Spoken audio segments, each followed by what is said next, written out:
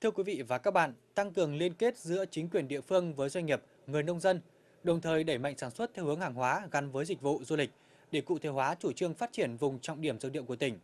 Năm 2014, huyện Quản Bạ phối hợp với công ty trách nhiệm hữu hạn DK Pharma thành lập 5 hợp tác xã vệ tinh trên địa bàn 5 xã thị trấn.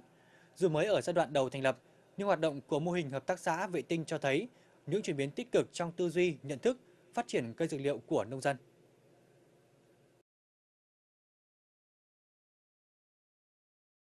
Hợp tác xã Cộng đồng Nạm Đâm, xã Quản Bạ, huyện Quản Bạ, thành lập tháng 9 năm 2014. Lĩnh vực hoạt động chính của hợp tác xã là sản xuất, chế biến, thu mua các sản phẩm dược liệu của người dân trong thôn. Đội ngũ cán bộ hợp tác xã, các xã viên là chính các hộ dân trồng dược liệu, có những hiểu biết cơ bản về các bài thuốc dân gian của đồng bào dân tộc Sao.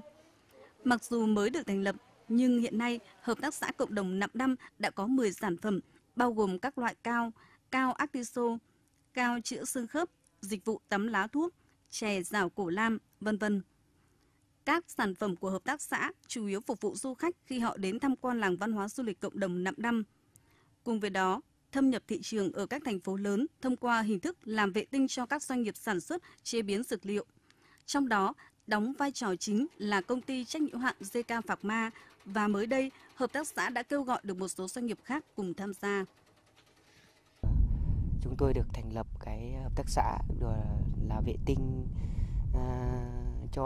doanh nghiệp mà cũng là mà người giữa là thu mua à, tất cả các cái sản phẩm à, của bà con làm ra thì à, chúng tôi thu mua hết. Cái sản phẩm mình làm ra ấy từ à, chúng gần như chúng tôi làm bao nhiêu là khách à, du lịch người ta đến mua các doanh nghiệp không à, cái tất cả các sản phẩm năm nay ấy thì gần như là không đủ không đủ lắm Hợp tác xã dược liệu Nà Trang, thị trấn Tam Sơn, huyện Quản Bạ cũng là mô hình hoạt động tương tự. Thời điểm này, khi đang bắt đầu trồng dược liệu, diện tích của hợp tác xã đã tăng lên hơn 6 hecta, tăng gấp rưỡi so với thời gian đầu thành lập vào tháng 10 năm 2014. Tại xưởng sản xuất, việc chế biến cao Actiso được hợp tác xã tiến hành thường xuyên. 6 tháng đầu năm 2015, doanh thu của hợp tác xã đạt 100 triệu đồng, mức thu nhập của 9 xã viên hợp tác xã đạt trung bình từ 3 đến 6 triệu đồng một người một tháng. Sang đến năm 2016, với diện tích cây dược liệu được mở rộng, thu hút thêm xã viên góp đất làm dược liệu, hợp tác xã đang đặt mục tiêu doanh thu 500 triệu đồng. Trong thời gian 6 tháng vừa qua thì hợp tác xã đã hợp đồng chặt chẽ với công ty DK Pharma, trường đại học Dược Hà Nội và bao tiêu sản phẩm đầu ra của cao lỏng Artiso. Và hợp tác xã đã sản xuất theo đơn đặt hàng của công ty với ờ, người dân. Hợp tác xã đứng ra để làm hợp đồng với người dân bao tiêu sản phẩm của đầu ra của cây dược liệu. Cụ thể hóa định hướng phát triển vùng dược liệu của tỉnh bên cạnh việc tạo điều kiện cho các công ty vào trồng và chế biến dược liệu. Huyện Quản Bạ chủ trương thành lập các hợp tác xã vệ tinh trồng và thu mua cây dược liệu cho đồng bào. Với hình thức góp đất, tập trung các hộ gia đình trồng, chế biến dược liệu theo quy trình kỹ thuật, đảm bảo dược liệu cho năng suất và chất lượng cao nhất. Mô hình hợp tác xã do chính các hộ nông dân đứng ra quản lý, hỗ trợ lẫn nhau trong quá trình sản xuất, không chỉ đảm bảo chất lượng sản phẩm dược liệu mà quan trọng hơn là đảm bảo đầu ra ổn định. Sau khi nhận được các cái đơn hàng về trồng dược liệu thì tôi xuống cùng với bà con anh em làm đất, trồng cây, chăm sóc. Sau đó là mình sẽ ờ, cung ứng sản phẩm của mình theo các cái hợp đồng.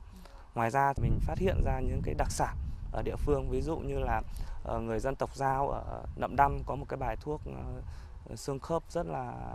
tốt thì chúng tôi đã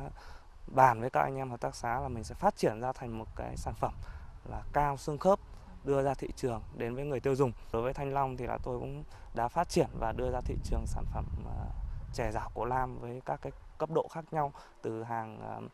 uh, thô cho người dùng bình thường đến hàng cao cấp.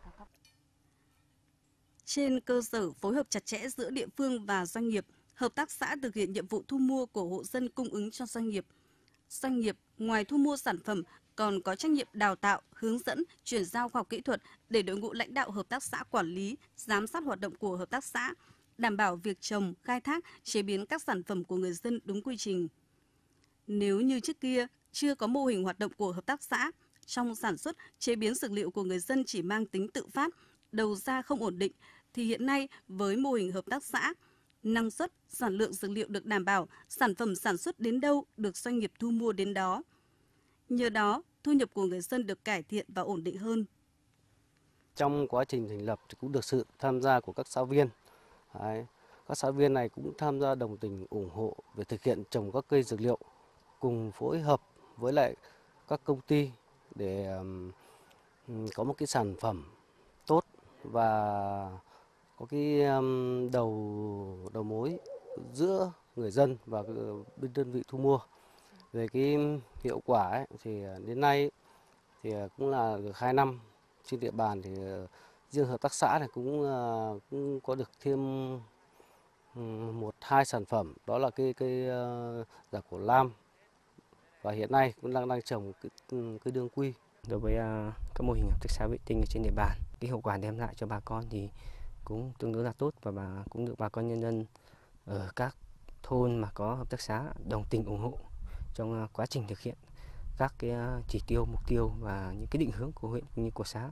đề ra khi có hợp tác xã thì bà con nhân dân cũng đã theo hợp tác xã và làm các cái sản phẩm được à, hợp tác xã thu mua và đầu ra chủ yếu của hợp tác xã là cho các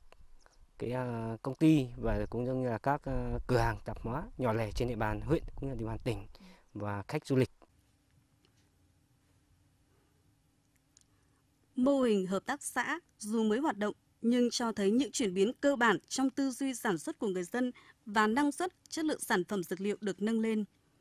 Bước đầu, các hợp tác xã đóng vai trò là đơn vị trung gian sản xuất chế biến và thu mua dược liệu cho công ty trách nhiệm hạn JK Phạc Ma. Ở giai đoạn đầu thành lập, công ty tiến hành đào tạo, tập huấn kỹ năng quản trị kinh doanh, các kiến thức cơ bản về hoạt động của hợp tác xã. Hiện nay, công ty trách nhiệm hạn JK Phạc Ma đang cử cán bộ tư vấn thường trực tại huyện Quản Bạ nhằm hướng dẫn, chuyển giao khoa học kỹ thuật, đảm bảo hoạt động của các hợp tác xã diễn ra thuận lợi và hiệu quả. Đặc trưng cơ bản của các hợp tác xã và huyện Quản Bạ thì họ vẫn mang một cái đặc trưng cơ bản của nền nông nghiệp đó là manh mún, nhỏ lẻ và bị uh, gặp khó khăn về ba vấn đề. Vấn đề thứ nhất đó là vấn đề con người, vấn đề thứ hai là vấn đề nguồn lực, vấn đề thứ ba là vấn đề công nghệ. Thì à, sau ờ, khi mà nghiên cứu,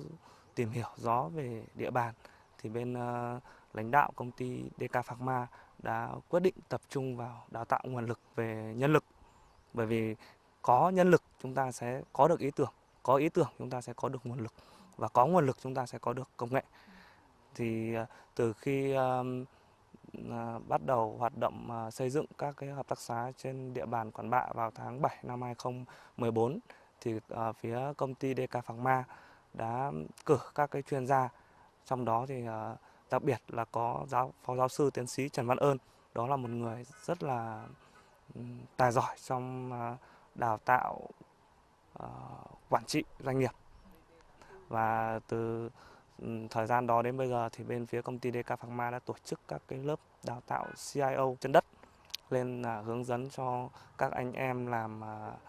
ờ, trong ban giám đốc trong hội đồng quản trị về cái tầm nhìn của mình này về cái ờ, nhận biết và phát huy các cái năng lực của bản thân. Sau đó là về mình truyền đạt lại với người dân và mình thực hiện các cái hoạt động uh, quản trị và và kiểm soát hợp tác xã phát triển theo đúng cái mục tiêu mà mình đã đề ra.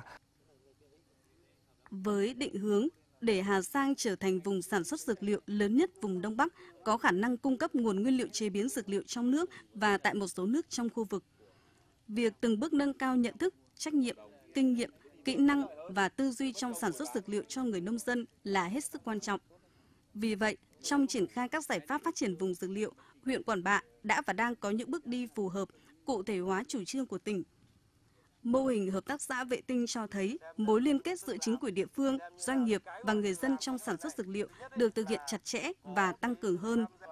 Việc phát triển các sản phẩm từ dược liệu cũng đang theo hướng đẩy mạnh sản xuất hàng hóa gắn với phát triển dịch vụ và du lịch ngành nông lâm nghiệp của tỉnh. Trong thời gian tới, huyện Quản Bạ phân đấu và quyết tâm nhân rộng mô hình triển khai ở tất cả các xã còn lại của huyện. Cách làm này thiết nghĩ sẽ phù hợp với các địa phương khác trồng dược liệu trên địa bàn tỉnh Hà Giang khi cụ thể hóa chủ trương phát triển vùng dược liệu quốc gia, mở ra hướng thoát nghèo hiệu quả và bền vững cho đồng bào các dân tộc thiểu số tại địa bàn huyện nghèo, vùng cao, biên giới.